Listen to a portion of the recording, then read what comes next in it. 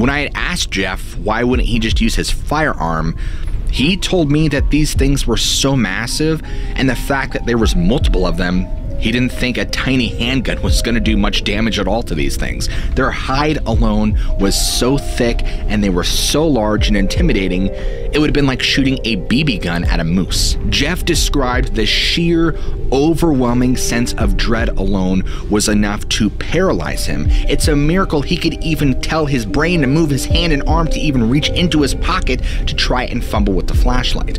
Now, as he somehow did this and began to actually touch the flashlight, ready to pull out and shine, before he could even do that, something happened.